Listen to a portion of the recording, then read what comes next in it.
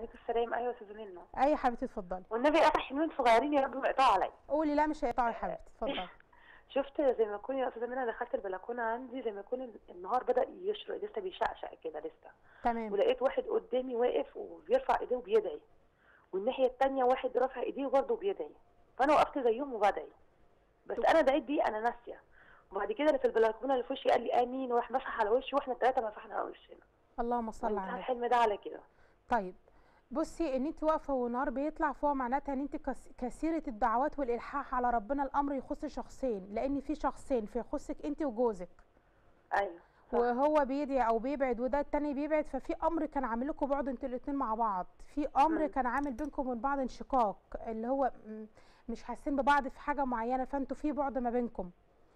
وفي الآخر انت كمان بتبعدوا وبتمسحوا على وشكم وبتقولوا آمين فإن شاء الله في قرب الأمر كان اتأخر ميعاده قوي فخلاص الأمر ده جاي إن شاء الله لتثبيت العلاقة ولتقويه العلاقة ما بينكم والرباط إن هيبقى. في رباط ما بينكم أكتر من اللي أنتوا فيه دلوقتي لأن. عندكم حالة انهيار بينكم وبين بعض في انهيار في حاجة تخصكم آه لأن خلاص انت وجهت أمرك لربنا.